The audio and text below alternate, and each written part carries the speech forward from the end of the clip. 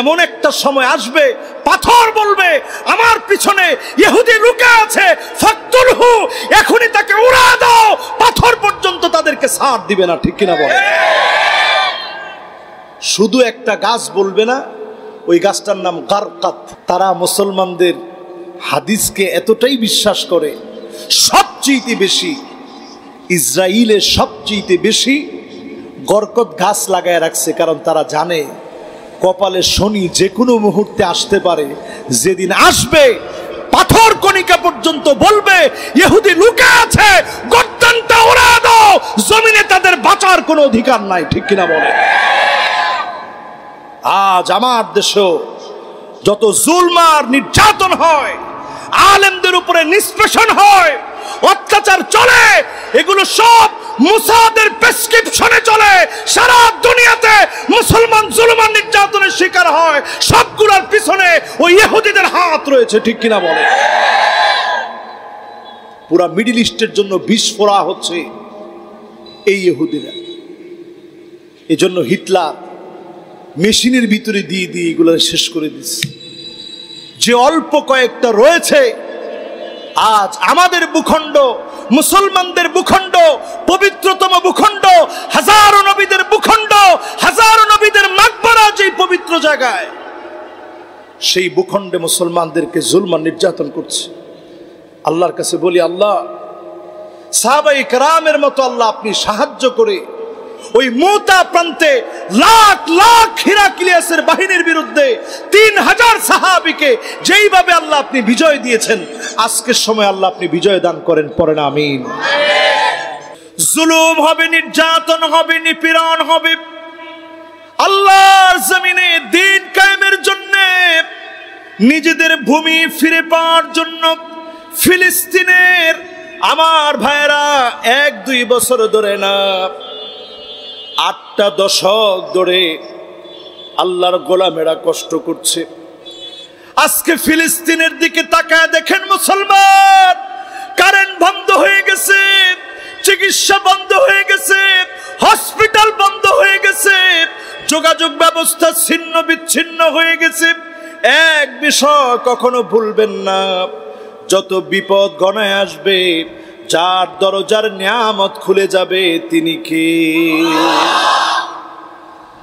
কালকেও আমি সিরাজগঞ্জে মাহফিল করে ফিরার পথে একজন বলতেছিল ইসরায়েল চাইলে এক রাতের ভিতরে হামাসকে নিঃশেষ করে দিয়ে পুরা ফিলিস্তিনের মুসলমানদেরকে নিঃশেষ করে দিতে পারবে, নিস্তব্ধ করে দিতে পারবে। আমি কোনো জবাব দেইনি শুধু শুনতেছিলাম আর মনে হচ্ছিল, আমরা তো সেই সে জাতি যারা সেই মুতার প্রান্তে ওই সময়ের হিরাক্লিয়াসের বাহিনীর বিরুদ্ধে, দুই লাখের বিরুদ্ধে, তিন হাজার সাহাবি কত দূর থেকে গিয়ে খেয়ে না খেয়ে উপাস শরীর নিয়ে আল্লাহর গোলামেরা সেদিন জান্ডা তুলে ধরেছিল, বারো জন শহীদ হয়ে কালেমার পতাকাকে বিজয়ী করেছিল, ঠিক কিনা বলে? আমরা তো সেই সে জাতি। হিম্মত কেন হারান ভাই? যেখানে জুলুম বেড়ে যাবে, অন্ধকার বেড়ে যাবে, আপনি বুঝে নিবেন, আমাবস্যার গড় অন্ধকারের পরে সুবে সাদিক চলে আসছে। সুম্মা ফাতহু বাইতুল মুকাদ্দাস, আবার বাইতুল মুকাদ্দাস বিজয় হবে। আল্লাহর হাবিব বলে গিয়েছেন, এক চুল পরিমাণ কোনো সন্দেহ নাই, বাইতুল মুকাদ্দাস বিজয় হবেই হবে, ঠিক কিনা বলে? নবী সাল্লাল্লাহু আলাইহি সাল্লাম বলেছেন উদুদ সিত্তান বাইনা ইয়াদাই সাআহ। কিয়ামত আসার আগে ছয়টা আলামত হাতে গুনে গুনে রাখবা। কয়টা ভাই? ছয়টা আলামতের প্রথম আলামত নবীজি বলছেন, মাউতি, আমি নবী দুনিয়া থেকে চলে যাব। এই আলামত যখন তোমরা পেয়ে যাবা বুঝবা কামতের সময়টা সন্নিকটে। নবীজি দুনিয়া থেকে বিদায় নিলেন। উম্মত আমরা নবীজিকে দেখি নাই, নবীজিকে পাই নাই। তার মানে প্রথম আলামত আমাদের উপরে সচক্ষে দেখে ফেলেছি। সাহাবাই কারাম নবীজিকে পেয়েছে। তাবিগণ নবীজিকে পান নাই, তবে তাবিগণ পান নাই। আইম্মে মুজতাহিদিন গণ নবীজিকে দেখেন নাই। আমরা নবীজিকে দেখি নাই। স্বচক্ষে নবীজির হাদিস আমাদের সামনে আলামত প্রকাশ হয়ে গেছে। এরপরে নবীজি দ্বিতীয় নম্বরে বললেন, সুম্মা ফাতহু বাইতুল মুকাদ্দাস, বাইতুল মুকাদ্দাসের বিজয় হবে। ওমর রাদিয়াল্লাহু তাআলা আনহুর জামানায় বাইতুল মুকাদ্দাসের বিজয় শুরু হয়েছিল, আবার দখল করে নিয়েছিল। সালাউদ্দিন আইয়ুবি বিজয় সিনে এনেছিলেন। আর তিনি তিন তিনটা কথা বলে গিয়েছিলেন। মুসলমান যতক্ষণ পর্যন্ত ক্ষমতার লোভী হবে না, নারীর লোভী হবে না, মদে আসক্ত হবে না, বাইতুল মোকাদ্দাসকে কেউ সিনায় নিতে পারবে না। ক্রুসেডারদের বিরুদ্ধে লড়াই করে তিনি সিনায় এনেছিলেন। বাইতুল মোকাদ্দাসে হাজার হাজার আলেমকে নির্মমভাবে শহীদ করে দেওয়া দেওয়ার মতো কেউ ছিল না। ওই ভূখণ্ডকে তিনি বিজয় করেছিলেন। ক্রুসেডারদের হাত থেকে রক্ষা করেছিলেন। আজকের বাইতুল মুকাদ্দাসে হামাসের আল্লাহর গোলামদের সাহস দেখে, ত্যাগ তিতিক্ষার নাজরানা দেখে বারবার মনে পড়ে, নবীজির হাদিস সত্য হবে, যিনি অবশ্যই বিজয় দিয়ে দিবেন তিনি কে? ভয় পায়েন না ভাই। দোয়া করতে থাকেন আল্লাহর কাছে। আল্লাহর কাছে দোয়া করেন। আমরা যদি পারতাম জীবনটা দেওয়ার জন্য আমরা প্রস্তুত থাকতাম, আমাদের দেশের সবচেয়ে বেশি আমি মনে করি এই সময়ে আল্লাহর দিন প্রতিষ্ঠার সবচেয়ে মহাব্বরে, মহাব্বতের অগ্রগামী আল্লাহর গোলামেরা এই বাংলাদেশে বসবাস করে, ঠিক কিনা বলে আমাদের দেশের মানুষের মহাব্বতের কোনো কমতি নেই। এই মহাব্বত অবশ্যই দিন বিজয়ের জন্য আল্লাহ কবুল করবেন, ইনশাআল্লাহ বলেন। দ্বিতীয় নম্বরে নবীজি বললেন, বাইতুল মোকাদ্দাসের বিজয় আসবে।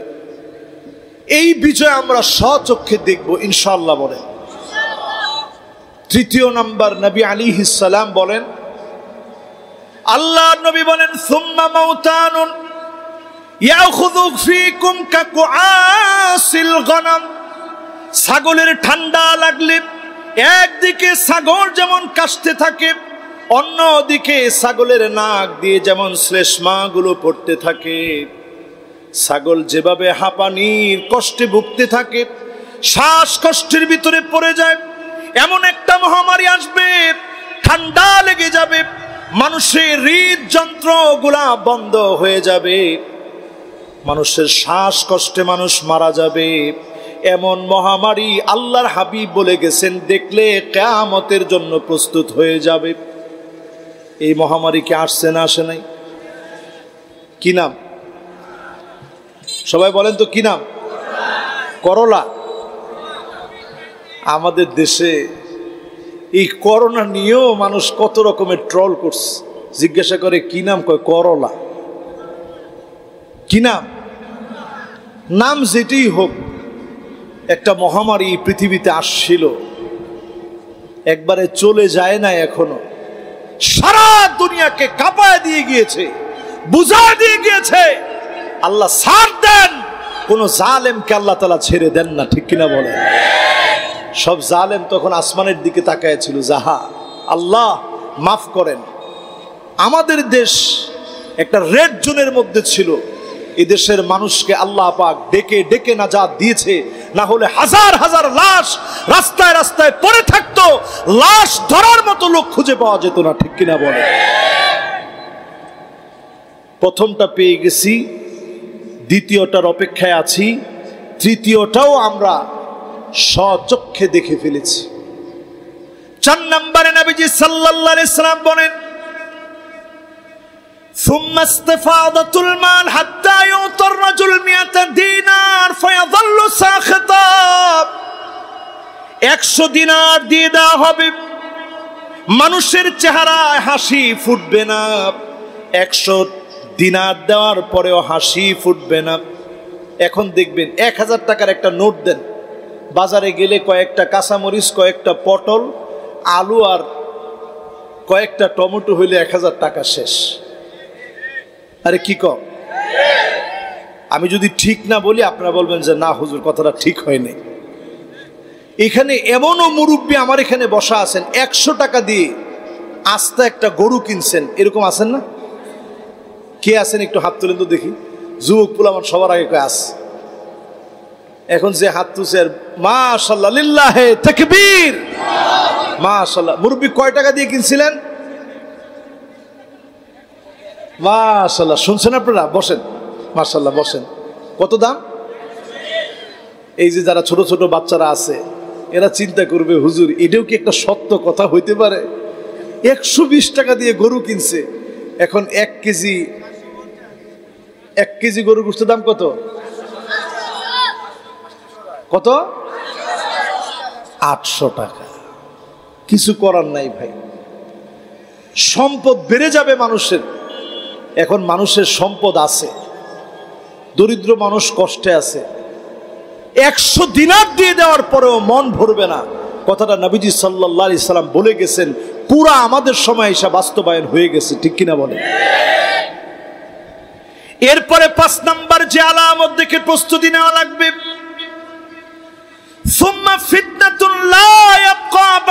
মিনাল আরাবিল্লাহ দাখালাতুহু। আরবের ঘরে ঘরে ফিতনা ঢুকে যাবে। একটা ঘরও পাবেন না। যেই ঘরে ফিতনা ঢুকে নাই, আজকে আরবের ঘরে ঘরে গিয়ে দেখেন, আরবের ঘরে ঘরে ফিতনা ঢুকে গেছে। নানা রকমের ফিতনা ঢুকে গেছে। অধিকাংশ আরবের ঘরে এমন এমন ড্রেস পরে, যেটা ইসলামী ড্রেস হতে পারে না, ঠিক কিনা বলে নেল পালিশ একেবারে পাইকারি দরে ব্যবহার করে। বুরু প্লাগ আমাদের দেশে আসছে বলতে গেলে পরে। এই ফেতনা পুরা মিডিল ইস্টকে সে ফেলেছে, প্রত্যেকটা নারী বুরু প্লাগ করে। প্রত্যেকটা নারী, অধিকাংশ নারী বুরু প্লাগ করে। নতুন করে ফেতনা আসছে। নিকাহে মিসিয়ার টাকার বিনিময় বিবাহ এই ফেতনা খোঁজ সৌদি আরবে শুরু হয়েছে। আল্লাহর হাবিব বলে গেছেন এই রকম ফেতনা সাহাবাই কেরাম দেখেন নাই তাবিরা দেখেন নাই, তবে তাবি দেখেন নাই আইমায় মুজতাহিদিন দেখেন নাই, কিন্তু আমাদের জামানায় এসে কেয়ামতের নিকটবর্তী সময়ে এই ফেতনা এখন আরবের ঘরে ঘরে ঢুকে গেছে। টাকার বিনিময়ে বিবাহ করা। মহিলা নিজে বলবে, আমার টাকা দিয়ে তোরে বিবাহ করব।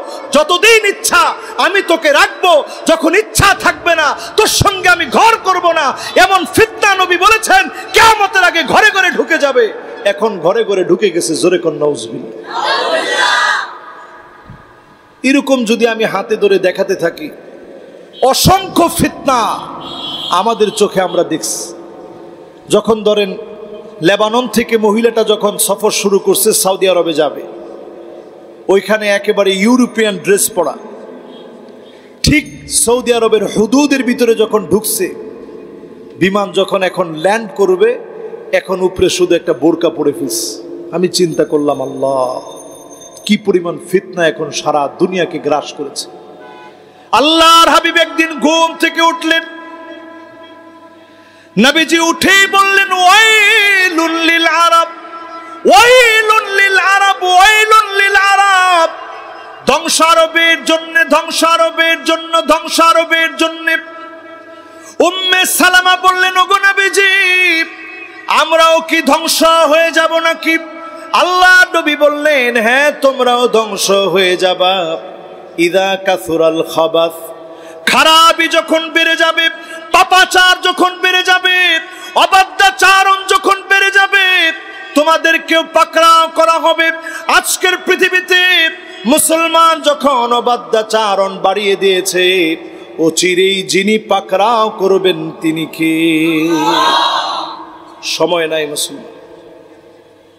আমার ভাইরা এরপরে নবী আলী সালাম বলেন, ছয় নাম্বার কষ্ট হচ্ছে আপনাদের? আর বেশি না, পনেরো মিনিট একটু কষ্ট দিই। কি না? মার্শাল্লাহ দেখি পিচ্ছি কে কইছে চালায় যান। মার্শাল্লাহ দেখছেন মার্শাল্লাহ আল্লাহ ওরে কবুল করুক, মঞ্জুর করুক, পরে না আমি। মার্শাল্লাহ সাহস আছে। আমরাও মাহফিলে এরকম ছোটবেলায় যাইতাম। তো এরকম ছোটবেলায় গেলে আলেমদের সাথে দেখা করতাম, একটু দোয়া নিতাম। মার্শাল্লাহ ছোট মানুষ কি মনোযোগ চালায় যান কতক্ষণ চালায় যাব কন? মাশাল্লাহ জি? ও ফজর নামাজের পরে না? মাশাল্লাহ তাহলে ফজর পর্যন্ত ওয়াজ চলুক, কি বলেন? আমি মনে করছি এই কথা বলার সাথে সাথেই দশ পনেরো জন অন্তত দৌড় শুরু করবে যে ফজর পর্যন্ত ওয়াজ করলে তো শেষ। আর বেশিক্ষণ না অল্প কতক্ষণ কথা বলবো আল্লাহ যেন কবুল মঞ্জুর করেন পরে না আমিন ভাই হাদিস থেকে পাঁচটা আলামত বলছি ষষ্ঠ নাম্বার আলামত শুনেন ثم هدنة تكون بينكم وبين بني الأسفر فيقدرون আল্লাহ নবী বলেন খ্রিস্টানদের সঙ্গে তোমাদের চুক্তি হবে অর্থোডক্স খ্রিস্টানদের সঙ্গে তোমাদের চুক্তি হবে। রাশিয়ায় যে খ্রিস্টানরা রয়েছে, তাদের সঙ্গে তোমাদের চুক্তি হবে। দেখেন, এবারের বিষয়টাতেও চিন্তা করেন। নবীজির হাদিস কেমনি মিলতিস নবীজি বলছেন, অর্থোডক্স খ্রিস্টানদের সঙ্গে চুক্তি হবে। অর্থোডক্স খ্রিস্টানদেরকে আপনি খুঁজবেন কোথায়? ইস্তাম্বুল, এই বাইজেন্টাইন সম্রাটদের সময় সবাস হচ্ছিল এই জায়গা থেকে সুলতান মোহাম্মদ আল ফাতেহ একুশ বছরের একজন তাগরা যুবক রসুল্লাহ সাল্লা হাদিসের মধ্যে বলে গেছেন খয়রুল আমিরি আমি রুহা তাদের নেতৃত্ব দিবে যে আমির, কতই না উত্তম হবে সে আমির। আল্লাহর হাবিব এই বিজয়ের কথা বলে গেছিলেন। একুশ বছরের যুবকের হাত ধরে আল্লাহ পাক পুরো এই জায়গাটাকে আল্লাহ তালা বিজয় দান করে দিয়েছেন সুহান এই খ্রিস্টানরা তখন বাধ্য হয়ে চলে গেছে আজকের রাশিয়াতে। অনেকে মনে করছে, না, হুজুর মনে লম্বা আলোচনা করবে। আর পনেরো মিনিট ইনশাল্লাহ আপনার আছেন তো? ইয়ং দুইজন উঠতেছে, এর মধ্যে একজন বসে গেছে। একটা কালো শার্ট পরা সে উঠে গেছে। বসলে খুব খুশি হব আমি ইনশাল্লাহ মাশাল্লাহ সে যদি এসে বসে, তার জন্য সবাই নিয়ে দোয়া দিয়ে দেবে ইনশাল্লাহ সে চিন্তা করতেছে, ঠিক আছে, বসে পড়ি। মাশাল্লাহ মাশাল্লাহ বসছে। লিল্লাহে তেকবীর। ওয়াজ তো সবার জন্যে, নসিহত সবার জন্য, আমার জন্য যেমন, আপনাদের জন্য ঠিক তেমন। আমরা ইনশাল্লাহ আর অল্প কিছুক্ষণ মনোযোগ নিয়ে শুনি। ইনশাল্লাহ বলেন। পাঁচটা আলামতের পরে কত নাম্বার? ছয় নাম্বার আলামত, সুম্মা হুদনাতুন তাকুনু বাইনাকুম ওয়া বাইনা বানিল আসফার আল্লাহর হাবিব বললেন, তোমাদের মাঝে অর্থোডক্স খ্রিস্টানদের সঙ্গে চুক্তি হবে। ফয়াকদিরুন, চুক্তিটা একদিন বঙ্গ হয়ে যাবে। চুক্তি বঙ্গ হবে ঠিক তখন। তাহতা সামানিনা গয়াব আশিটা দলে বিভক্ত হবে। কান খাড়া করে দিয়ে শোনেন, পৃথিবী এখন সেই দিকে যাচ্ছে। সারা পৃথিবীর ল্যাংরা লোলা, কানা, অন্ধ, যত রকমের শাসক আছে, সব এখন এক হয়ে গেছে। ফিলিস্তিনকে নিষিদ্ধ করা লাগবে। এই ইস্যুতে যখন তারা এক হচ্ছে আল্লাহর হাবিবের এই হাদিস বারবার আমাদেরকে মনে করায় দিচ্ছে, মুসলমান ভেঙে পড়ার কোনো কারণ নাই। ওই মৌতা প্রান্তের মতো বিজয় তোমাদের হবেই হবে। যদি একের নিয়ে থাকতে পারো, বিজয় কেউ সিনায় নিতে পারবে না, ঠিক কিনা বলে? আশিটা বৎসর ধরে উনিশশো পঁয়তাল্লিশ সাল থেকে নিয়ে এই পর্যন্ত ওই দখলদার ইসরায়েলের হানাদাররা ঢুকার পর থেকে মুসলমানদের উপরে জুলুমান নির্যাতন করে যাচ্ছে। নিঃশেষ করতে পারে নাই, হিম্মত ভেঙে দিতে পারে নাই, চূর্ণ বিচূর্ণ করতে পারে নাই। জন্ম থেকেই যারা জিহাদের তামান্না নিয়ে জ্বলে উঠে, তাদেরকে নিমায় দিতে পারে, এমন কোন শক্তি পৃথিবীতে নাই, ঠিক কিনা বলে? ফিলিস্তিনের এক ছাত্র আমার সঙ্গে পড়তো, নাম ছিল ইয়াসিন। আমি দেখতাম সব সময় সে হাসে। তো আমি একদিন খুব রাগান্বিত হয়ে বললাম লিমা তাদহাক। সব সময় যখন দেখি, লিমা দান তাদহাক ফি কুল্লি হাল, সব অবস্থায় তোমাকে শুধু হাসতে দেখি। ফিলিস্তিনে এত বড় বড় দুর্ঘটনা হচ্ছে, কত মানুষ শহীদ হচ্ছে, তোমার চেহারায় সবসময় হাসি দেখি কেন?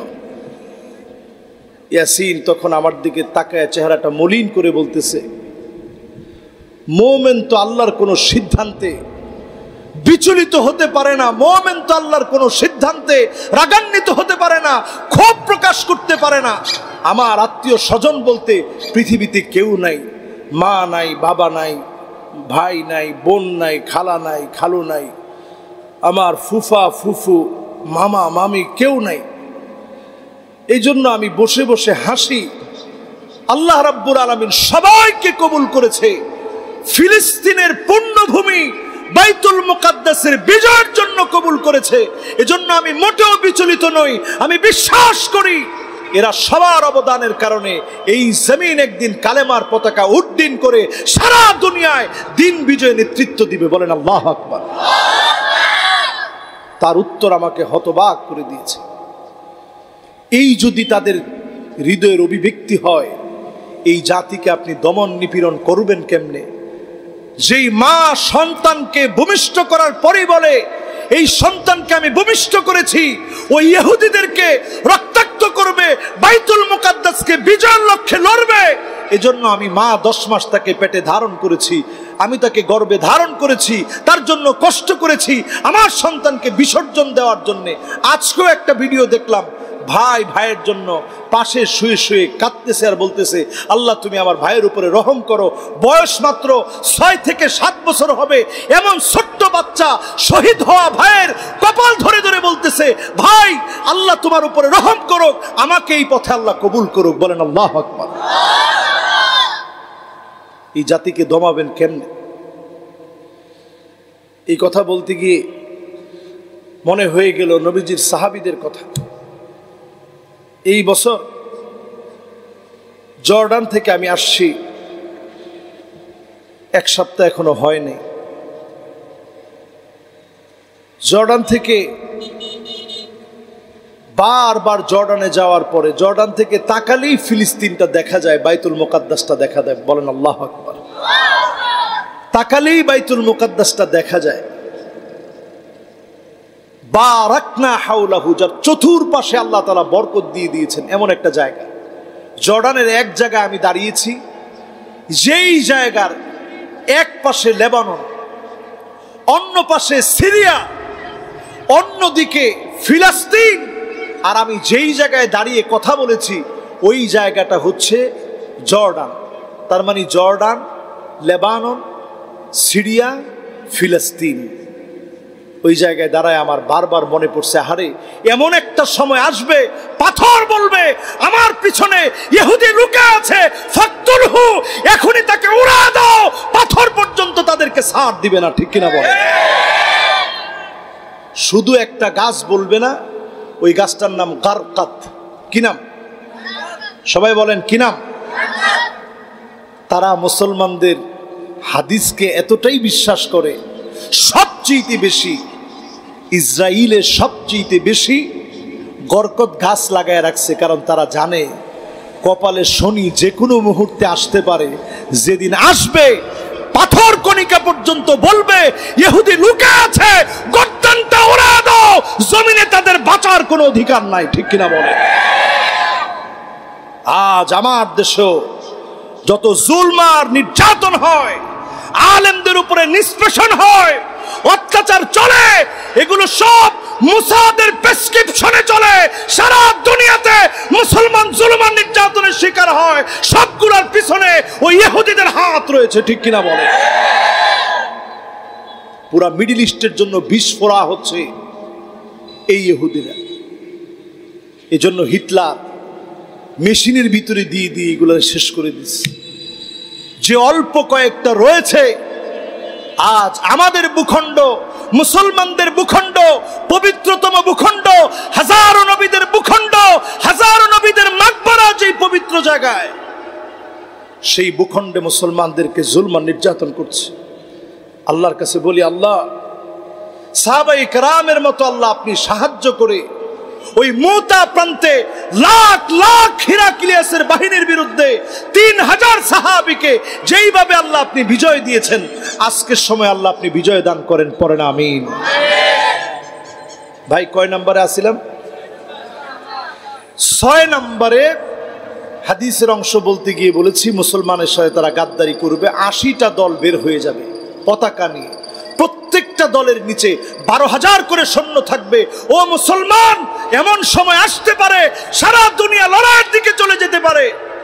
আজকেও আমি দেখেছি রমজান কারিমুব, তিনি পর্যন্ত আহ্বান জানাচ্ছে যে আসেন আমরা এই সংঘাতটা ভুলে যাই, ফিলিস্তিনকে রাষ্ট্রীয়ভাবে স্বীকৃতি প্রদান করি।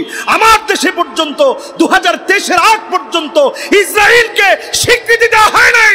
স্বীকৃতি পাওয়ার যোগ্য এরা হতে পারে না, ঠিক কিনা বলে হাদিসের অংশ বলতে গিয়ে বলেছি, মুসলমানের সাথে তারা গাদ্দারি করবে, আশিটা দল বের হয়ে যাবে পতাকা নিয়ে। প্রত্যেকটা দলের নিচে বারো হাজার করে সৈন্য থাকবে। ও মুসলমান, এমন সময় আসতে পারে, সারা দুনিয়া লড়াইয়ের দিকে চলে যেতে পারে। আজকেও আমি দেখেছি, রমজান কারিমুব, তিনি পর্যন্ত আহ্বান জানাচ্ছে যে আসেন, আমরা এই সংঘাতটা ভুলে যাই। ফিলিস্তিনকে রাষ্ট্রীয়ভাবে স্বীকৃতি প্রদান করি। আমার দেশে পর্যন্ত দু হাজার তেইশের আগ পর্যন্ত ইসরায়েলকে স্বীকৃতি দেওয়া হয় নাই। স্বীকৃতি পাওয়ার যোগ্য এরা হতে পারে না, ঠিক কিনা বলে এই বিশৃঙ্খল পরিস্থিতি মুসলমানদেরকে বারবার কাদায়, স্মরণ করায় দেয়। এগুলো নতুন কিছু না। আল্লাহর নবী দিনের দাওয়াত দিয়ে পাঠিয়েছিলেন। সাহাবিন নাম ছিল হারেফ বিন উমায়ের। আল আজদি সবাই বলেন তো সাহাবির নাম কি? মাশা আল্লাহ আর সর্বোচ্চ পনেরো মিনিট সময় নেবে, পনেরো মিনিটের ভিতরে। শেষ কথাগুলো আপনাদেরকে বুঝাই দিয়ে যাওয়ার চেষ্টা করব। বলেন, সাহাবির নাম কি? ভুলে গেছেন? হারেফ বিন উমায়ের আল আজদি মাশাল্লাহ দেখি কে বলতে পারবে সহিভাবে বলেন তো দেখি। মাশাল্লাহ ইয়ংরা বলো তো দেখি জোরে। মাশাল্লাহ নবীজির যুবক একজন সাহাবি। রসুল ইসলামের দাওয়াতটা দিয়ে পাঠাইছে। বড় আশা নিয়ে। রসুল নিজের হাতে এই চিঠিটা পর্যন্ত আমার নিজের চোখে আমি দেখছি। নিজের হাতে নবীজি সাল্লা সাল্লাম সিলমোহর মেরে দিস চিঠির ভাষায় নবীজি বলছে, আসলিম তাসলাম। তুমি ইসলাম গ্রহণ করো, শান্তির মধ্যে তুমি থাকবা। সম্বোধন করেছে আজিজুর রোম বলে। রোমের সম্মানিত প্রেসিডেন্ট বলে নবীজি সাল্লা সাল্লাম সম্বোধন করেছে। সাহাবিকে দিয়ে যখন পাঠাইছে, সাহাবি যাওয়ার পরেই হারেফ বিন উমায়ের আল আজদি রাদি আল্লাহ তালা আনহুকে গাছের সাথে বেঁধে ফেলছে। এমনভাবে ওনাকে হত্যা করেছে। যখন ওনাকে আঘাত করা হয়েছে জর্জর করে যখন রক্তগুলো ঝরতেছে আল আজদি রক্তগুলা স্পর্শ করে বলেছে, ফুস্তু কাবা, ও কাবার মালিক, আমি বিজয় হয়ে গেলাম। কাফেরের ওই তীরের আঘাত, কাফেরের তরবারের আঘাত, এক চুল আমার ইমানকে নড়াতে পারে নাই। বলেন আল্লাহ নবীজির কাছে যখন সংবাদ আসছে নবীজি সাল্লাহ সাল্লাম বললেন, এটা সরাসরি আমাদেরকে যুদ্ধের ঘোষণা দিয়েছে। আমার প্রতিনিধিকে হত্যা করার অর্থ হচ্ছে, এটার বদলা তারা নিতে চায়। আমরাও এটার জবাব দিতে চাই। কে কে আসো তোমরা যাবে? সাহাবাই কেরাম দাঁড়ায় গেলেন। সেই সময়ের সবচেয়ে শক্তিশালী রোমকদের বিরুদ্ধে লড়বে মুসলমান তিন হাজার সাহাবি। নবীজি বললেন, সেনাপতি হিসাবে প্রথমেই যাবে আমার জায়দ বিন হারেথ জায়দ বিন হারেথা রাদি আল্লাহ তাল আনহু, নবীজির পালক সন্তান। কেমন আদর তারে করছে নবীজি। বাপ, মা এসে দাঁড়াইছে পাশে। নবীজি ডেকে আনছে হারেথা জায়দ বিন হারেথা তুমি যদি চাও তোমার বাপমার সঙ্গে চলে যাও। জায়দ বিন হারেথা বলেছে, আমি আমার বাপমার সঙ্গে যেতে চাই না। আমি নবীজির সঙ্গে থাকতে চাই। বলেন আল্লাহ নবীজি সেই জায়দ বিন হারেসাকে বিদায় দিস জায়দ বিন হারেসা বার বার কাঁদতেছে। সবাই জিজ্ঞাসা করতেছে, এত কান্নার কারণ কি? তিনি বলতেছে, আমার মনে হচ্ছে জিহাদের ময়দানে এবার যে আমি যাব, আর মনে হয় ফিরে আসতে পারব না। বড় মায়া লাগতেছে, নবীজিকে আর কোনো দিনের জন্য আমি দেখতে পারব আল্লাহ নবীর আদরের জায়দ বিন হারেসা চলে গেলেন। আল্লাহ নবী দ্বিতীয় সেনাপতি ঘোষণা করলেন, জাফর বিন নবী তালেব রাদিয়াল্লাহু তাআলা আনহুকে, নবীজির চাচাতো ভাই। আল্লাহর নবী যখন নামাজের জন্য দাঁড়াতেন, আবু তালেব টেনে এনে বললেন, জাফর, তুমিও দাঁড়ায় যাও। একদিকে হাজরতে আলী, অন্যদিকে জাফর বিন আবি তালেব। আল্লাহ নবীর এত আদরের সাহাবি জাফর বিন আবি তালেব নবীজির চাচাতো ভাই। আল্লাহ নবী দাঁড় করায়া দিলেন জেহাদের ময়দানে সেনাপতি বানায়া। এরপরে আল্লাহ নবী নাম ঘোষণা করলেন আব্দুল্লাহ বিন রাওয়াহাব। সবাই বুঝে ফেললেন, এই জেহাদে তিন তিনজন সেনাপতির কথা বললেন, তার মানে একজন শহীদ হয়ে যাবে, আরেকজন দায়িত্ব পালন করবে। আরেকজন শহীদ হয়ে যাবে, আরেকজন দায়িত্ব পালন করবে। লড়াইয়ের প্রান্তে ওই জর্ডানে চলে গেলেন মুতা প্রান্তে হিরাক্লিয়াসে লক্ষাধিক সৈন্যবাহিনী, সেই প্রান্তে মুসলমানদের সঙ্গে লড়বে বলে প্রস্তুত হয়ে আছে। সেই প্রান্তে চলে গেল সাহাবাই কারাম, তিন রাত অতিবাহিত করে ফেলেছে। মনে মনে চিন্তা করতেছেন, এত বড় বাহিনীর সঙ্গে লড়বো কেমন করে? তিন হাজার সাহাবি লক্ষ জনের সঙ্গে লড়বো কীভাবে? আব্দুল্লাহ বিন রাওয়াহাব তারা প্রাঞ্জল বাসায় জিহাদি বক্তব্য দিলেন, বললেন, প্রয়োজনে একজনও বাড়িতে ফিরবো না, প্রাণ শেষ হয়ে যাবে, রক্তগুলা ময়দানে ঢেলে দিব, একজনও ফিরব না, আল্লাহর দরবারে শহীদ হয়ে দাঁড়ায় যাব। বলেন, আল্লাহ আকবর। একজনও ঘরে ফিরে যাব না। পিসপা হওয়ার কোনো সুযোগ নাই। লড়াই শুরু হয়ে গেল।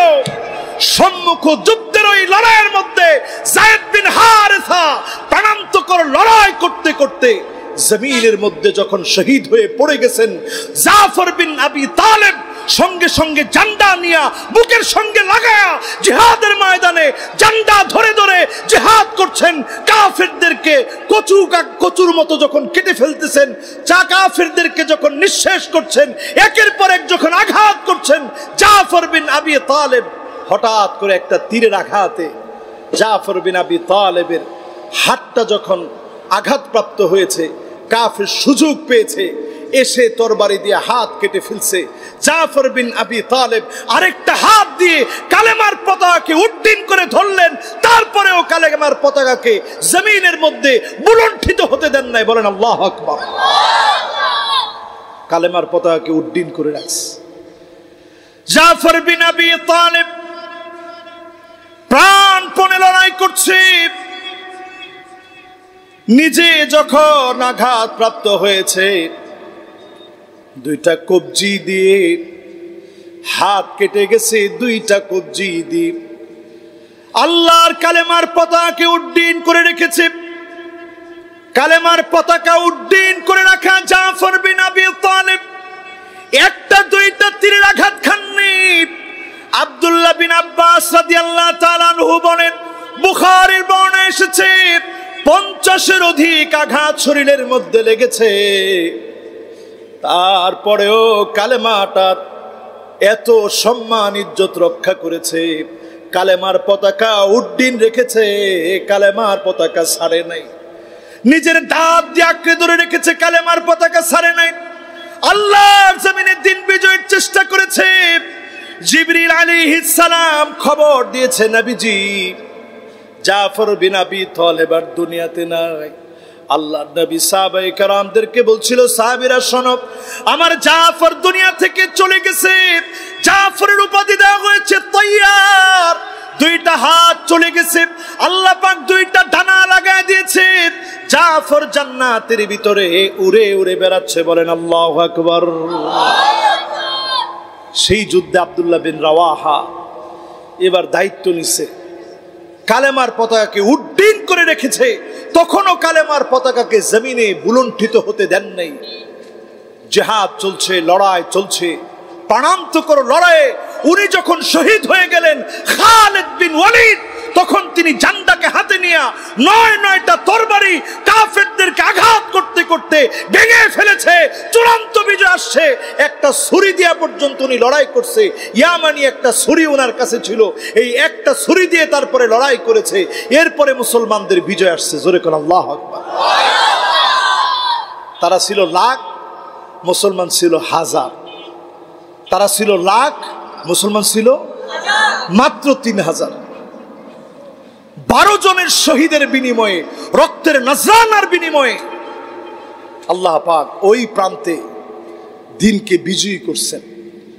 এজন্য কখনো কখনো দিন বিজয়ের জন্য রক্তের প্রয়োজন হয়। যখনই মুসলমানদের রক্ত ঝরবে, আপনার হৃদয়ে যেন রক্তের ক্ষরণ হয়, আপনার হৃদয়ে যেন রক্তের ক্ষরণ শুরু হয়, মুসলমানদের জন্য যেন কান্না আসে। একটু যেন মুসলমানের কথা আপনার হৃদয়ে চিন্তায় আসে। কান্নাহুম বুনিয়ানুম মারসুস সীসা ডালা প্রাচীরের মতো। আপনি যেন চিন্তায় পড়েন আপনি যেন দোয়া করেন আপনি যেন সবসময় তাদের পাশে থাকার চেষ্টা করেন। এই চিন্তা যখন আপনার ভিতরে থাকবে বেশি দূরে নয়।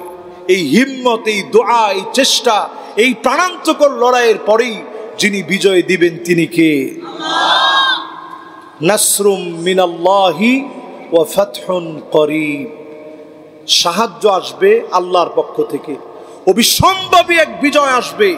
যেই বিজয় কোনো অস্ত্র শস্ত্র দিয়ে ফিরাতে পারবে আমার ভাইরা এতক্ষণ ধরে যারা শুনছিলেন, আজকের এখান থেকে উঠার সময়, রবিউল আউ্য়াল মাসের বিদায় লগ্নে, আমরা যারা বসছি এতক্ষণ, নবীজির সঙ্গে আমরা থাকতে চাই। রাজি আছি? কি বলেন? রবিজির সঙ্গে আমরা জান্নাতে একসঙ্গে থাকতে চাই। রাজি আছি? মাশাল্লাহ কারা কারা রাজি? একটু হাতগুলো উঠায় দেখাই তো। লিল্লাহে তকবীর। লিল্লাহে তকবীর। এবার হাতগুলো নামান। ছোট্ট আটটা আমলের কথা বলে মাহফিলটা শেষ করে দেব। এক নম্বর, নবীজি সাল্লাহ সাল্লামকে ভালোবাসবেন। পারবেন ইনশাল্লাহ আল আহাব্বা। খুব পরিচিত হাদিস। ব্যক্তি যারে ভালোবাসবে তার সঙ্গে থাকবে। নবীজিরে ভালোবাসবেন, নবীজির সঙ্গে থাকবেন। উল্টাপাল্টা নায়ক, নায়িকা, গায়ক, গায়িকা ফেমাস ফুটবলার, তারকা এদের পিছনে ছুটবেন, এদের সঙ্গে থাকবেন। নবীজির সঙ্গে আল্লাহ পাক আমাদেরকে থাকার তৌফিক দেখ পরে না আমিন। হজরত আনাস বলেন, এটা শোনার পরে আমি এত খুশি হয়েছি। আমার আমল যদিও এত বেশি না কিন্তু আন্তামান আহবাবতা, তুমি যাকে ভালোবাসবে, তার সঙ্গে তুমি থাকবে। আমি নবীজিরে বড় ভালোবাসি, আমি আবু বকরকে বড় ভালোবাসি, আমি ওমরকে বড় ভালোবাসি। তাদের সঙ্গে যদি আমি থাকি, এর চাইতে বড় সৌভাগ্য আর কি হতে পারে? আল্লাহ আমাদেরকেও সৌভাগ্যশীল বানায় দেখ পরে না আমি দুই নাম্বার, একজন সাহাবি, যেই সাহাবির বয়স মাত্র এগারো বছর বয়স। রবিয়া তুবনু কাব আল আসলামী একটু সবাই বলেন তো নামটা কি? রবিয়া তুবনু কাব আল আসলামী রবিয়া তুবনু কাব আল আসলামী এগারো বছরের যুবক। গড় নাই, বাড়ি নাই, কিচ্ছু নাই। আহলে সুফার অধিবাসী মসজিদ নববীতে ঘুমায়। আপনারা যারা মসজিদ নববীতে গেছেন, আহলে সুফারা যে জায়গায় ঘুমাইতো রিয়াদুল জান্নায় যাদের যাওয়ার সুযোগ হয়েছে, দেখছেন আপনারা? আল্লাহ নবী কখন আসবে?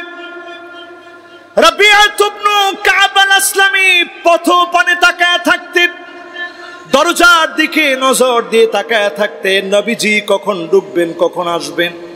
অজুর পানি আগায় দিতেন। আল্লাহ নবীর খিদমত করতেন। বলেন, আমি আল্লাহ নবীকে বড় ভালোবাসি। আল্লাহ নবীকে বড় ভালোবেসেছি? নবীজি আদর করে একদিন বললেন, রাবিয়া, কোন একটা কিছু আমার কাছে চাও, আমি তোমাকে দেব। কিছু চাও, এখনই তোমারে দেব। রবিয়া তুমন কাব আল আসলামী বলেন, যখনই নবীজি এইটা বলছে আমি সাথে সাথে বললাম মোরাফাকা তুকাফিল জান্না নবী আর কিচ্ছু চাই না। আমি চাই আপনার সঙ্গে আল্লাহর জান্নাতে একসঙ্গে থাকব। জোরে কন সুবাহান এগারো বছরের যুবক, আমাদের দেশের এগারো বছরের যুবককে যদি বলা হইতো, কিছু একটা চাও চাইলেই দিব। সাহাবি বলতেছে, নবীজি, কিচ্ছু চাই না। শুধু চাই আপনার সঙ্গে আল্লাহর জান্নাতে একসঙ্গে থাকব। জোরে কোন আল্লাহ। এবার রাবিয়া তুবনু কাবান আসলামী কে নবীজি বললেন ফাইনি আলা কাসরাতি সুজুদ, তুমি আমাকে সহযোগিতা করবে। অধিক পরিমাণে সেজদা করো, অধিক পরিমাণে সেজদা দাও। তোমাকে কাল কেয়ামতের ময়দানে আমার সঙ্গী বানায় দেওয়া হবে। আমরা যদি অধিক পরিমাণে সেজদা অবনত হই, অধিক পরিমাণে যদি সেজদা করি, নবীজির সঙ্গে যিনি সঙ্গী বানায় দিবেন তিনি কে? ইনশাল্লাহ আপনারা ভয় পেতেছেন? বৃষ্টি যদি এক সেকেন্ডের ভিতরে আসে, করার কিছু আছে ভাই? সব পরিস্থিতি মোকাবেলা করার মালিক দুনিয়ার কেউ না, একজন তিনি কে? মাসাল্লাহ এবার তিন নাম্বার আমলে আসেন। রসুল রসুল সাল্লা ইসলামের আনুগত্য করবেন, যত বেশি নবীকে মানবেন, তত বেশি ইয়া আল্লাহ। আল্লাহর একটু ডাক দেন, বলেন আল্লাহ। বলেন আল্লাহ হুম্মা হাওয়ালাইনা। ওয়ালা আলাইনা। আল্লাহ হুম্মা আলাল আকামি।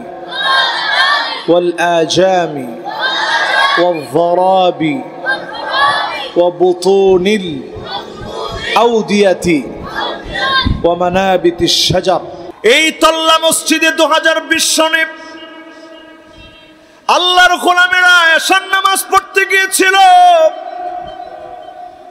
এশা নামাজ শেষ হয়ে গেছে সুন্নতের সময়টা আসছে বেতের সময় এসেছে।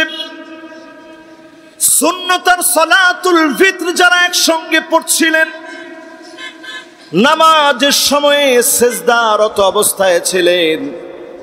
কেউ দাঁড়ানো অবস্থায় ছিলেন, কেউ রুকু অবস্থায় ছিলেন। সুবহান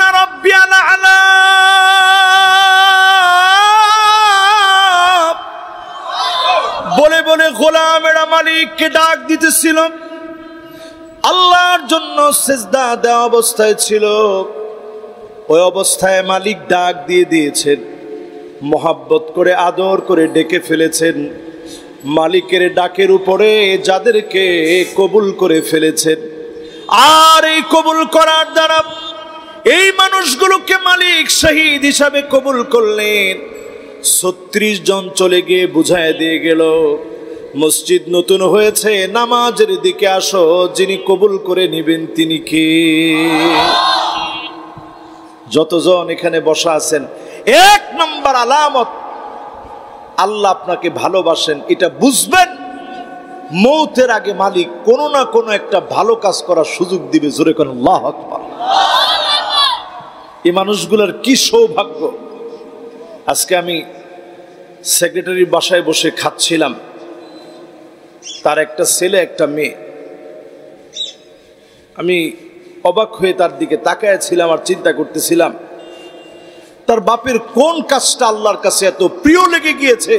আল্লাহ তাকে মসজিদের ভিতরে নামাজরত অবস্থায় আল্লাহ কবুল করে নিয়েছে। বলেন আল্লাহ আকবার। কেশিয়ার সাহেবের ছেলে, সেও বলছিল, হুজুর, আমার আব্বাও মারা গেছে। এখন যেই জায়গায় দাঁড়ায়া আপনাদের খতিব সাহেব আপনাদের ইমাম সাহেব যেই জায়গায় দাঁড়ায়া নামাজ পড়ান, ওইখানে তার বাপ দাঁড়ায় নামাজ পড়াতো। দুনিয়া থেকে বিদায় নিয়েছে। এই বিদায়টা এমন এক বিদায়, মালিক পছন্দ করে নিয়েছেন বিধায় তাদেরকে আল্লাহ রাব্বুল আলমী নামাজরত অবস্থায় কবুল করেছে। আল্লাহ যেন আমাদেরকেও সেজদারত অবস্থায় কবুল করে পড়ে না আমি বলছিলাম কয়টা আলামত বলব ভাই? পাঁচটার এক নাম্বারটা কি? সবাই বলেন তো এক নাম্বারটা কি? মাশাল্লাহ এক নাম্বারটা কি? মৃত্যুর আগে ভালো কাজ। আমরা কেউ জানি না কখন মারা যাব। আজকে যদি আমার মৌত হয়, আমি আল্লাহর কোরআনের কথা বলতেছি এই অবস্থায় যদি মালিক ডাক দিয়ে নেয় ফেরেস্তা আমার বন্ধু হয়ে যাবে, মালিক আমার বন্ধু হয়ে যাবে। আমার জন্য যিনি মেহমানদারি করাবেন, তিনি কে? আলামত নাম্বার এক, জীবনটারে ভালো কাজের মধ্যে পরিচালিত করেন। জীবনটারে ভালো কাজের মধ্যে পরিচালিত করেন। নামাজের দিকে আসেন। যারা জীবনটাকে প্রতিটা মুহূর্তে ভালো কাজের উপরে দেখতে পান, আপনি বুঝে নেবেন আপনার জীবনের শেষ মুহূর্তেও ভালো কোনো কাজের উপরে যিনি ডাক দিয়ে দিবেন, তিনি কে? দুই নম্বর আলামত, শুনেন আমার ভাইয়ারা। মানুষ যখন আপনাকে ভালোবাসবে, আপনি বুঝে নেবেন, এই ভালোবাসা দুনিয়ার জমিন থেকে আসে নাই। এই ভালোবাসা আর সে আজিম থেকে যিনি দিয়েছেন, তিনি কে? এই জন্য আলেমদের নামে কত রকমের বদলাম। আছে না ভাই? আরে কথা কয় না। আলেমদের নামে কত রকমের বদলাম। নানাভাবে আলেমদেরকে কলঙ্কিত করার পরেও এক চুল আলেমদের জনপ্রিয়তাকে কমানো যায় নাই, ঠিক কিনা বলে? এটার কারণ হলো এই জনপ্রিয়তা, এই মহাব্বত দিয়েছেন কে? যেই মহাব্বত উপর থেকে আসে জমিনে টেনে সেই মহাব্বত কমানো যায় না, ঠিক কিনা বলে মিথ্যা মামলা, হামলা দিয়ে এই মহাব্বত কমানো যায়? কোন তালিকা করে এই মহাব্বত কমানো যায়? কয় নম্বরে আছি ভাই? এক নম্বরের পরে কয় নাম্বার?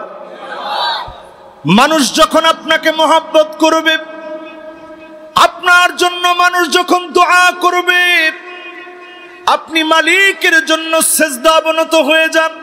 আল্লাহর কাছে ফরিয়াদ করা শুরু করেন। আপনি বুঝে নেন, এই মহাব্বত বড় দামি মহাব্বত। এই মহাব্বত দিয়ে যিনি আপনাকে দামি বানায় দিয়েছেন, তিনি কে?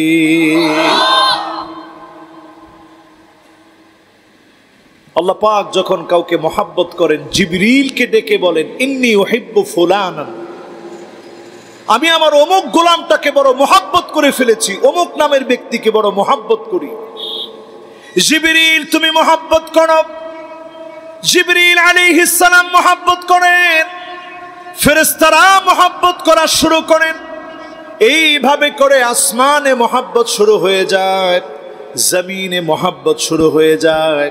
এই মহাব্বত যখন দেখবেন, বুঝবেন যিনি ভালোবেসে ফেলেছেন তিনি কে। কত নাম্বার ভাই? এইবার কত নাম্বার? তিন নাম্বারে আমার ভাইরা ইত্তিবা সুন্নাহ। নবীজির সুন্না মানার চেষ্টা করেন। নবীজির সুন্না যত বেশি মানবেন, আপনি বুঝে নিবেন যিনি আপনাকে ভালোবেসে ফেলেছেন তিনি কি? নবীজি সাল্লাহ সাল্লামকে জীবনে কোনোদিন দেখি নেই জীবনে নবীজিরে পাই নাই। কিন্তু আমার দেশে, ওই সেই এমানুয়েল ম্যাক্রোর দেশে, ফ্রান্সে যখন আমার নবীর বিরুদ্ধে কোনো ব্যঙ্গাত্মক কোনো কার্টুন প্রকাশ করা হয় সবচেয়ে বড় মিছিলটা আমার বাংলাদেশে হয়, ঠিক কিনা বলে এরকম অনেক লোক যায় যারা পাঁচ অক্ত নামাজ পড়ে নাই, কিন্তু নবীজির জন্য মহাব্বত আছে। এই মহাব্বতটা যদি আপনি নিজের জীবন পরিবর্তনে, সুন্নতকে অনুসরণ, অনুকরণ করে করা শুরু করেন, এই মহাব্বতের কারণে যিনি আপনাকে দামি বানায় দিবেন, তিনি কে? নবীজির সুন্নাকে মহাব্বত করা শুরু করেন। একটা একটা সুন্নত করে জীবনে পরিবর্তন আনার চেষ্টা করেন। আল্লাহ নবীর সৌরাত তেমন ছিল। যেই সৌরাতের সবগুলো আপনি ধারণ করতে পারবেন না, আমরা আতর ব্যবহার করি। নবীজি যখন ঘেমে যেতেন, আম্মা জানরা এসে নবীজির সেই মুবারক গামগুলো, মুবারক ঘামগুলো বোতলের মধ্যে ভরে রেখে দিতেন। বিভিন্ন ঈদের উৎসবে, এমনকি নবীজির সাথে যখন বিছানায় যখন ঘুমাতে যেতেন তখন আম্মা জান আয়েশা ব্যবহার করতেন। আর তিনি বলতেন, আমার কাছে মনে হতো এটা মিসকের চাইতে অধিক সুগ্রাম যুক্ত জোরে বলেন, আল্লাহ আকবার। এটা আপনি আপনার আমলে আনতে পারবেন না। নবীজি সাল্লাহ সাল্লামের সেরাত জীবনের প্রত্যেকটা অংশ আমলযোগ্য। আপনি যদি আমল করার চেষ্টা করেন, একটা একটা করে জীবনের পরিবর্তন আসবে। নবী আপনাকে ভালোবেসে ফেলবে। স্বপ্ন যুগে নবীজি সাল্লাহ ইসলামকে আপনি দেখবেন, স্বপ্ন যুগে দেখা হয়ে যাবে, সাফাতের জন্য নবীজি দাঁড়ায় থাকবে, আমাকে আপনাকে নবীজি সাফাত করবে, ধন্য বানায় যিনি জান্নাতি বানায় দিবেন তিনি কে? কয় নাম্বার ভাই? কয় নাম্বার? মার্শাল্লাহ এক নাম্বারটা কি? সবাই বলা লাগবে। এক নম্বরটা কি? মার্শাল্লাহ এগুলো মনের খাতায় লিখে রাখেন। এলেমটা দুই প্রকার। দপ্তুন বিশ্বদূর ও দপ্তুন বিশ্বতুর একটা হচ্ছে খাতায় লিখে রাখা আর একটা মনের মধ্যে একেবারে মন দিয়ে গেঁথে ফেলা। আমরা আজকে একেবারে মুখস্থ করে নিয়ে যাব। এক নম্বরটা কি? সুবহান আল্লাহ এই মসজিদটার কথা আমার সারা জীবন মনে থাকবে। কীরকম মসজিদ সুবহান আল্লাহ ছত্রিশ জন আল্লাহর গোলাম, তারা কয়জন? চৌত্রিশ জন। চৌত্রিশ জন আল্লাহর গোলাম, তারা সেদিন আল্লাহর সামনে দাঁড়াবে। আল্লাহ পাক সেদিন তাদেরকে দেখে খুশি হয়ে যাবে। আল্লাহ পাক সেদিন তাদেরকে দেখে খুশি হয়ে যাবে। এক একজন শহীদ শহীদ হওয়ার সাথে সাথে তাদেরকে আল্লাহ পাক ছয়, ছয়টা পুরস্কার দিয়ে দেয়। জোরে কোন আল্লাহ আকবার। কয়টা? ঠিক যেদিন এই ঘটনা ঘটছে, তার পরের দিন আমি আসছি দেখার জন্য। এসে দেখলাম মানুষের এই যে চামড়াগুলা বিভিন্ন জায়গায় সরিয়ে সিটিয়ে পড়ে আছে। দেখে আমি বড় অবাক হয়েছি আর চিন্তা করছি, আল্লাহ শহীদ সিত্তা খিসালিন ইন দা আউয়ালি কাতরাতিন মিন রক্তের একটা ফোঁটা পড়ার সঙ্গে সঙ্গে, লুমের মধ্যে একটু আগুন লাগার সঙ্গে সঙ্গে শহীদের সব গুণা আল্লাহ মাফ করে দেয় মাকআদাহু ফিল দ্বিতীয় নাম্বার পুরস্কার, শহীদকে আল্লাহ রাব্বুল আলামিন জান্নাতের বাড়িটা দেখাতে থাকে, এজন্য শহীদের চেহারার ভিতরে কোনো ক্লান্তি থাকে না, শহীদের চেহারার ভিতরে জান্নাতি হাসি ফুটে যায়, জোরে বলেন আল্লাহ আকবার। তিন নম্বর পুরস্কার। ওয়ুজাওয়াজু মাআ হুরিল আইন। সবচেয়ে সুন্দরী সবচেয়ে অপরূপা, ডাগর ডাগর চোখ বিশিষ্টা নারীদের সঙ্গে, হৌরদের সঙ্গে জান্নাতে আল্লাহ পাক শহীদদেরকে বিবাহের ব্যবস্থা করে দিবেন সোহানা ওয়ুমানু মিন ফাজাইল আকবার। পৃথিবীর ভিতরে পরঙ্কারী কামতের টক্কর লেগে যাবে। ভূমিকম্প শুরু হয়ে যাবে। সেই প্রলয়ঙ্কারী টক্কর থেকে শহীদদেরকে যিনি হেফাজত করবেন, তিনি কে? পাঁচ নম্বর কবর। কবরের আজাব শহীদদেরকে আল্লাহ মাফ করে দিবেন। কবর শহীদদেরকে চাপ দিবে না। বিনা চাপে আল্লাহ পাক কবরের আজাবকে খালাস করে দিয়ে শহীদদেরকে আল্লাহ ফয়সালা করে দিবেন। বলেন আল্লাহ। ছয় নম্বর পুরস্কার। শহীদদেরকে আল্লাহ তালা সেদিন দাঁড় করাবেন, বলবেন, তোমার কি কি অভিযোগ আছে আজকে বলো? সব অভিযোগের শাস্তি আমি আল্লাহ পাক পাই টু পাই। ওই জালেমদেরকে ধরে আমি আল্লাহ পাক জবাব নিব। যারা এই পর্যন্ত দায়িত্ব অবহেলা করেছেন, তাদের জবাব দেওয়া লাগবে। শহীদরা সেদিন তাদের জবাবের জন্য আল্লাহর কাঠগড়ায় দাঁড়ায় যাবে, ঠিক কিনা বলেন? আমার ভাইরা বলছিলাম সুন্না মানলে নবীজি সাল্লাহ ইসলামের সুন্না মানার কারণে আপনাকে যিনি মহাব্বত করবেন তিনি কে? কত নাম্বার এটা ভাই? কয় নাম্বার? কয় নাম্বার? এক নাম্বার কি? মাশাল্লাহ দু নাম্বার? মাশাল্লাহ কয়েকজন খাতায় লিখে রাখছে, ওরা খাতায় দেখতেছে। দুই নম্বরটা কি? মানুষের ভালোবাসা। এই জন্য মানুষের সাথে ব্যবহার খারাপ করবেন না, ভালো করবেন। কিছু লোক আছে বলে, হুজুর, আমি একেবারে সোজা সাপটা কথা বলি, খুব স্ট্রেট ফরওয়ার্ড আমি ডাইরেক্ট কথা বলি। ইসলাম স্ট্রেট ফরওয়ার্ডকে কোনো সুযোগ দেয় না। ডাইরেক্ট কথা বলার কোনো সুযোগ নেই। ওলাও কুনতা ফাদ্দান গালিয়াল কাল লান ফাদ্দু মিন হাউলিক নবী, আপনি যদি কর্কশ ভাষাভাষী হতেন, চারপাশে কোনো লোক পেতেন না। এত মানুষ আজকে দাঁড়িয়ে কথা শুনছে। কারণ নবীজি সাল্লাল্লাহু ইসলাম সুন্দর করে কথা বলেছেন দায়ীরা সুন্দর করে কথা বলে। এজন্য হাজারো মানুষ দাঁড়ায় দাঁড়ায় শুনে, ঠিক কিনা বলে দুই নম্বরের পরে, তিন নম্বরটা কি ভাই? সুন্নত সুন্নত সুন্নত এখন জীবনের মধ্যে সবচেয়ে বড় দামি বানায়া। জীবনে অনুসরণ অনুকরণ করেন। সুন্নত যারা মানবেন, চারটা পুরস্কার দুনিয়াতে পাবেন, আখেরাতের পুরস্কার আল্লাহ তালা অগণিত দিবেন। দুনিয়াতে কয়টা? সবাই বলি, কয়টা? এক নাম্বার পুরস্কার আল্লাহ রাব্বুল আলামিন দিবেন। আল মুহাব্বা ফি কুলুবিল বারারা। নেককারদের দিলে আল্লাহ মোহাব্বত দিয়ে দিবেন। আপনি সুন্নত মানবেন, নামাজির সঙ্গে মোহাব্বত হয়ে যাবে। দিনদারের সঙ্গে মোহাব্বত হয়ে যাবে। দুনিয়াতে সফল ব্যক্তিদের সঙ্গে, নামাজি মুত্তাকিদের সঙ্গে, পরহেজগারদের সঙ্গে মোহাব্বত হয়ে যাবে। আলেমদের সঙ্গে মোহাব্বত হয়ে যাবে। দুনিয়ার জীবনে দামি বানায় যিনি কবুল করবেন তিনি কে? দুই নম্বর পুরস্কার। ওয়ালহাইবাতু ফি কুলুবিল ফাজারা। বদ্দিন যারা থাকবে ওরা দেখবেন আপনি একটু দাড়ি রাখছেন। বলবে, ছেলেটা আগে ভালো ছিল, এখন হঠাৎ জঙ্গি হয়ে গেছে। আরে ঠিক কয় না তো? আপনি ট্রাক্টর উপরে পায়জামাটা পরছেন, লুঙ্গিটা পরছেন, প্যান্টটা পরছেন। বলবে, ছেলেটা হঠাৎ করে কেমন যেন চেঞ্জ হয়ে গেছে, আগে ভালো ছিল, এখন নষ্ট হয়ে গেছে। কন্যাউজুবিল্লা আপনার মেয়েটা বোরকা পরে বের হবে। অনেকে সমালোচনা করে বলবে, লোকটা আগে খুব ভালো ছিল, স্টাইল বুঝতো, এখন ফ্যামিলিকে ধ্বংস করে দিয়েছে। কুলুবিল ফাজারা, এই সমস্ত পাপিষ্ট লোকেরা আপনার পিছনে লেগে যাবে। এরা আপনার কোনো ক্ষতি করতে পারবে না। নিজের ক্ষতি তারা ডেকে আনবে, ঠিক কিনা বলে দুই নম্বর পুরস্কার এটা।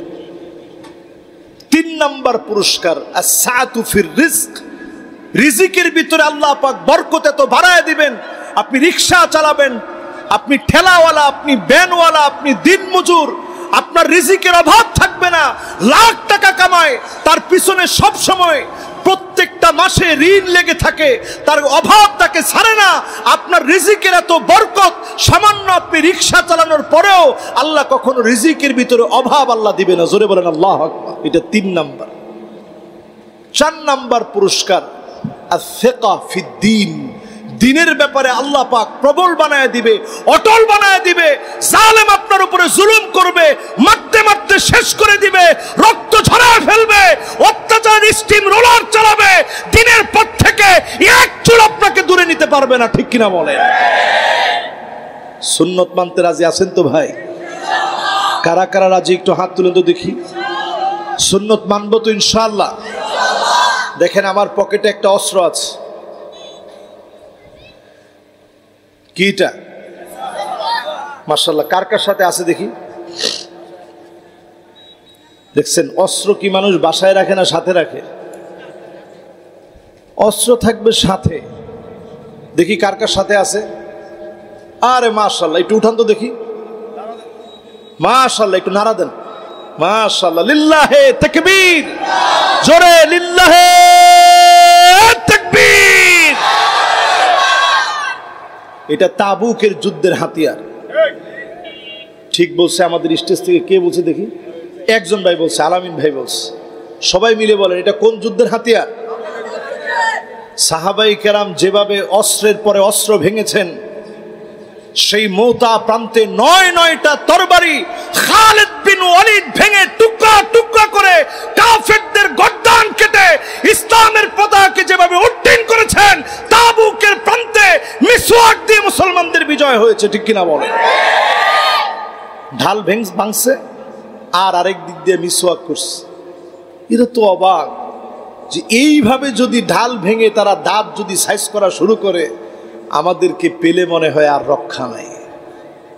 তাহলে এটা কোন যুদ্ধের হাতিয়ার? আরে কথা কয় না, কোন যুদ্ধের? সুন্না আমরা সব সময় ইনশাআল্লাহ চেহারার ভিতরে পরিবর্তন আনব, সুন্নতের সাথে চলবো। রাজি আছেন ইনশাআল্লাহ?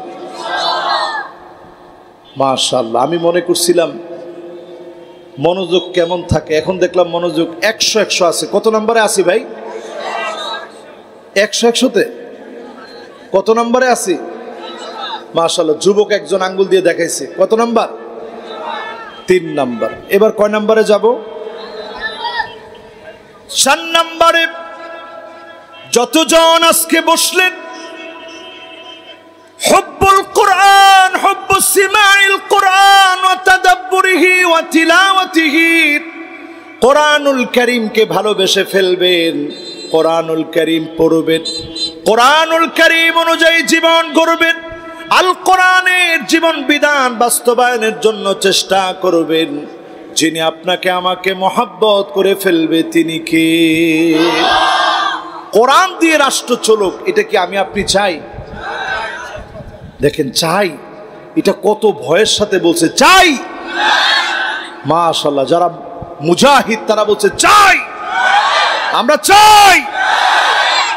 কোরআন দিয়ে রাষ্ট্র চললে আমাদের জন্য লাভ না লস? চোরদের জন্য লাভ না লস? চোরদের জন্য লস না? হাত কাটতে কাটতে কদ্দুর পর্যন্ত কাটে। ডাকাতদের জন্য লস না লাভ? খনিদের জন্য লস না লাভ? এই এলাকায় একটা মার্ডার হয়েছিল এক- একবার শুনছিলাম আর কি। সেভেন মার্ডার শুনছেন না আপনারা? এটা এই এলাকায় না, আমি এই এলাকায় বদলাম করতেছি না। এই দেখছেন? এখন কইছে হুজুর সিদ্ধিরগঞ্জে। এইরকম সেভেন মার্ডারের ঘটনা যদি ঘটতো, আর যদি কোরআনের রাজ কায়েম হতো, কল্লা থাকতো নি? কিন্তু দেখবেন তারা হাসজ্জ্বল চেহারা নিয়ে এখনও ঘুরে বেড়ায়। এদেরকে কোনো ডান্ডা বেরি পড়ানো হয় না, আলেমদেরকে ডান্ডা বেরি পড়ানো হয়, ঠিক কিনা বলে? দুঃখ ভাই বড় কষ্ট আমাদের। আমরা এমন মানুষ আল্লাহর কাছে দিল থেকে বলি, আল্লাহ, এই বাংলাদেশের মানুষ কোরআনকে চায়, এজন্য প্রত্যেক রাতের মাহফিলে হাজার হাজার আল্লাহর গোলাম নিজের পকেটে টাকা খরচ করে মাহফিল শুনতে আসে, ঠিক কিনা বলে? কিছুর আশায় না, শুধু একটু জান্নাত পাওয়ার আশায়। জাহান্নাম থেকে মুক্তির আশায়, আল্লাহ এই জমিনে তুমি কোরআনের রাজ কায়েম করে দিও, পড়ে না, আমিন। কয় নাম্বারটা আছি ভাই? এবার কয় নাম্বার জানি ভাই? পাঁচ নাম্বারে আল ইবতিলা যত বেশি আপনি দিন মানবেন, ইসলাম মানবেন, এই জমিনে দিন কায়েমের চেষ্টা করবেন, আপনার উপরে পরীক্ষা বেড়ে যাবে। আল্লাহ তাআলা আমাদেরকে যতক্ষণ সুযোগ দিয়েছেন, আল্লাহ পাকে শুক্রিয়া আদায় করি। চতুর্থ নম্বরে হোসনুল খোলক। চরিত্রটা সুন্দর করবেন। আল্লাহ যেন কবুল করেন, নবীজির সঙ্গী বানায় দেন। পরে না, আমিন। পঞ্চম নাম্বারে, ইয়েতিমদের অভিভাবকত্ব গ্রহণ করবেন। এতিমদের মাথায় হাত বোলায় দিবেন। কেউ আমরা উঠবো না ইনশাল্লাহ আল্লাহ সুযোগ দিবে। ইনশাল্লাহ বলেন। এতিমদের মাথায় হাত বোলায় দিবেন। রাজি আছেন ইনশাল্লাহ এরপরে আমার ভাইয়েরা, ছয় নাম্বারে, যার মেয়ে আল্লাহ তালা দিয়েছে অথবা বোন আছে, তাদেরকে আপনি দিন শিখাবেন। সুন্দরভাবে লালন পালন করবেন। একটা হইছে, দুইটা হইছে, তিনটা হইছে, মন খারাপ করবেন না, সুন্দরভাবে লালন পালন করেন। যিনি জান্নাতের ফয়সলা করে দিবেন, তিনি কে? এরপর রসুল সাল্লা সাল্লামকে যারা না দেখে ইমান এনে মহাব্বত করে ফেলেছে, নবীজির সঙ্গে সঙ্গী হবেন, নবীজি সাফাত করবেন, যিনি দণ্ড বানায় দিবেন, তিনি কে? সর্বশেষ অধিক পরিমাণে নবীজির উপরে দরুদ পড়বেন। আল্লাহ যেন তৌফিক দান করেন পরে না, আমিন।